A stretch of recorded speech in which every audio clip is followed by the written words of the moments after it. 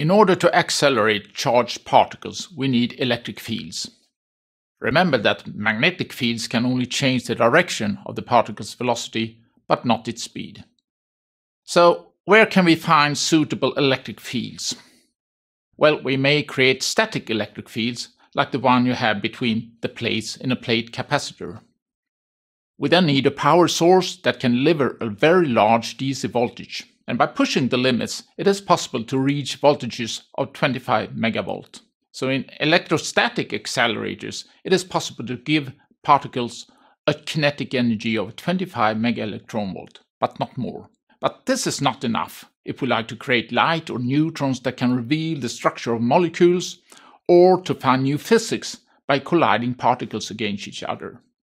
That require kinetic energies of several giga electron volt or even tera electron volt. And to reach such energies, we must use electromagnetic waves.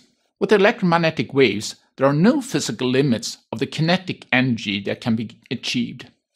It is instead the cost and the size of the accelerators that set the limit.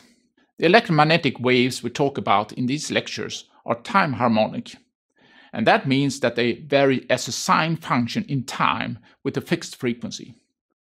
The waves used for larger accelerators have frequencies in the same range as wireless radio systems, and we call these waves radio frequency waves or simply RF waves.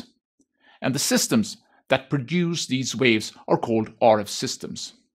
Let's have a look at the path of the power in an RF system. An amplifier creates a time harmonic voltage, and that voltage creates a time harmonic electromagnetic wave, the wave is then guided down to a cavity where it creates a standing wave.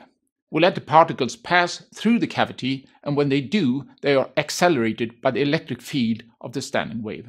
So the RF systems use time harmonic voltages, time harmonic electromagnetic waves, and time harmonic standing waves.